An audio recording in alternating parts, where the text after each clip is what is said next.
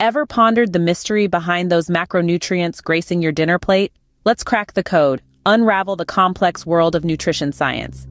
A balanced meal isn't just about filling your belly, it's a symphony of macronutrients. Proteins, carbohydrates, and fats, playing together in harmony. Proteins? They're your body's building blocks, repairing and building tissues. Carbohydrates? They're the main source of energy, fueling your everyday hustle. And fats, contrary to popular belief, aren't always the villains. They're essential for absorbing vitamins and protecting your organs. Micronutrients, those vitamins and minerals, are just as vital, working behind the scenes, supporting your immune system, bone health, and more. Remember, nutrition isn't one size fits all. It's a personalized science tailored to your unique body and needs. So, before you plan your next meal, think, what's on your plate? If you found this nugget of wisdom intriguing, show some love by liking, sharing, and subscribing.